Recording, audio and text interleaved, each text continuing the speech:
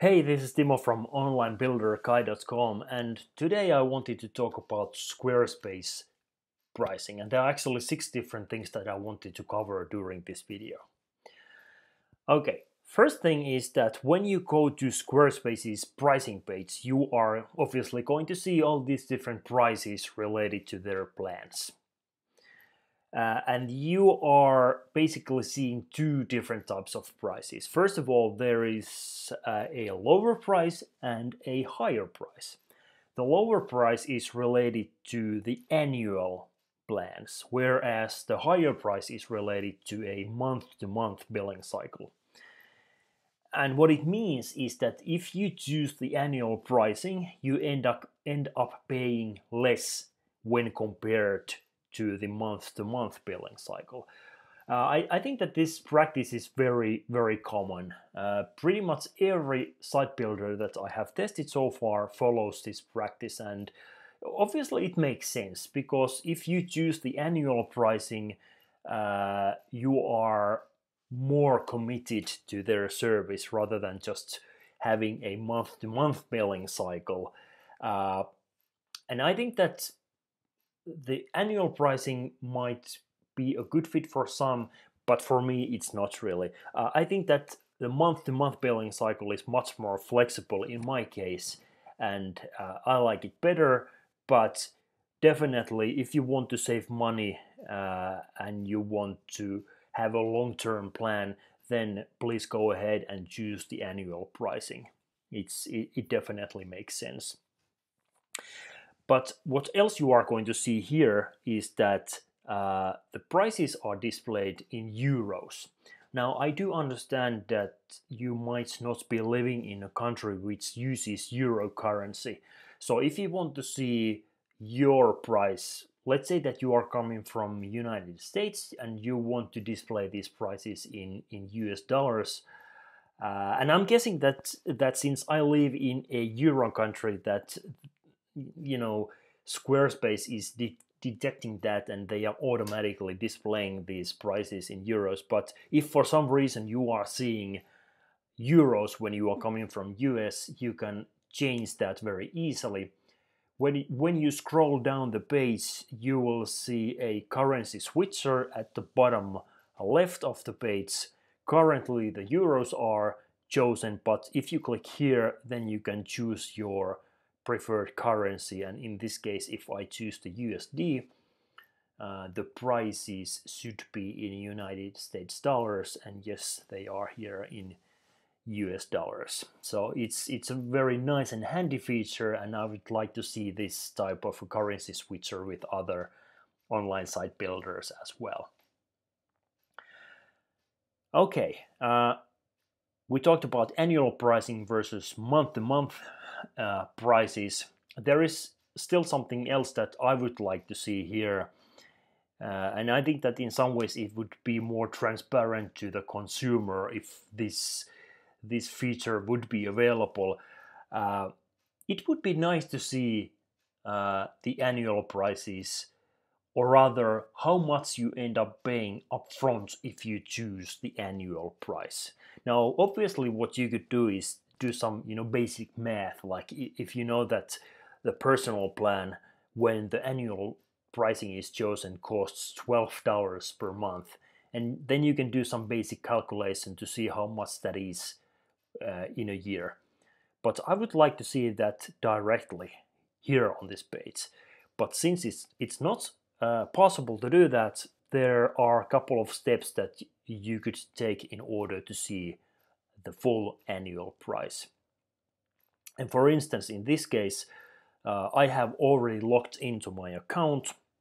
And if I choose any of these expired uh, test sites that I have, for instance, this one, and when I look at the bottom of the page, it says your website subscription has been expired, fix now. So I click the fix now button and I will be taken to the uh, pricing page once again and here also I can uh, change the currency if I want to but let me just keep it as it is and let me just click the select button and click OK here. And if I, here on this very page, here on the checkout page, if I click to the bottom of the page, I will see that the full price in euros is, is this amount of money. And obviously, if you have chosen, because there is a currency switcher on this page as well, so if you have chosen other currency, so you will see the price displayed in that very currency. So that's the only way to, to actually know how much you end up paying upfront. Okay, I think that's pretty much what I wanted to talk about annual pricing. Um, let's next cover the trial uh, because it's possible to have a trial. So with Squarespace, you can test drive, you know, get familiar with with all the different features, you know, get familiar with the site builder for 14 days. So basically they have a free 14 day trial that you can use. Now, the thing is that there are certain limitations to it. Uh, if you go to Squarespace's knowledge base, knowledge base and seek for a article called starting a Squarespace trial, there are all these different limitations listed here. So for instance, search engines are not indexing your site. So when you start your trial and you build your site and you publish it, your site goes live onto the internet, but then at the same time it is not being indexed by search engines. And there are you know plenty of other limitations uh, when it comes to running a trial period. Uh, but it's also worth remembering that you can get rid of these limitations when you upgrade to a premium level plan. So that's how to get rid of them.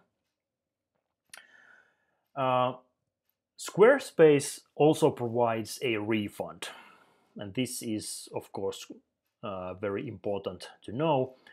So, refunds are only applicable when you have chosen an annual plan.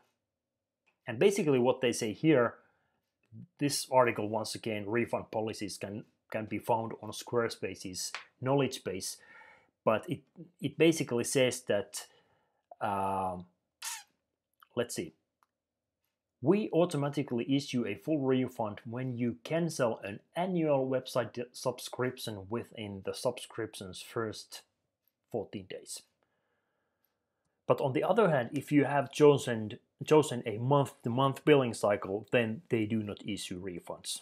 So that's what I wanted to mention about that's what I wanted to talk about refunds. It's important to understand when they are issuing refunds and when they are not issuing refunds. And then you can actually find more information related to refunds on this uh, very article that that's on Squarespace's site. Okay, let's see what else do I have here because you know I have my notes on the desk and I'm just trying to make sure that I'm covering each and every one of these topics that I wanted to cover during this video so that's that's why I have to take a quick look every now and then uh, at my notes to see where I'm going right now.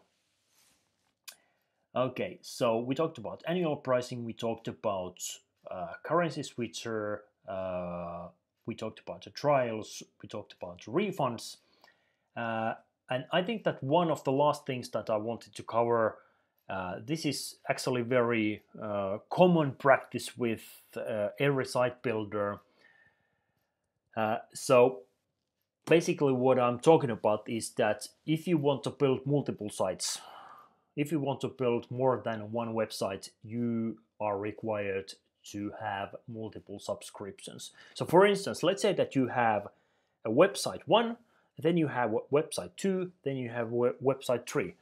So for all of these three websites, you need a separate subscription. And you may be thinking that it costs a lot of money. And of course, when you compare this type of a pricing model to, for instance, to self-hosted WordPress, where once you purchase hosting from any of the hosting providers, uh, you can build as well pretty much as many websites as you want on that one hosting plan. But it's different with with these site builders, and I, I think that the reason is actually very simple to understand. At, at least it makes sense to me, and I hope that it makes sense to you as well. Because these site builders are businesses. And what they want to do is that they want to, like for instance, they want to pay their customer support, their engineers, they want to uh, develop new features, they want to uh, invest into their infrastructure, and there are lots of lots of these different costs that needs to be covered, and the money has to come from somewhere, and that's why it makes sense to bill separately for each of the websites that you are building. So I hope that it makes sense to you right now, and that's that's the reason why these site builders may sometimes be more expensive than when you are running a website with with uh, uh, a self-hosted on a self-hosted WordPress platform. But then at the same time, you are getting more bang for your buck like a customer support and you know all the security patches and fixes are taken care for you and everything is up to date so you do not have to pay any attention to that. But okay that's what i wanted to talk about. Squarespace pricing and uh, i will get back to you soon with a new video. Bye bye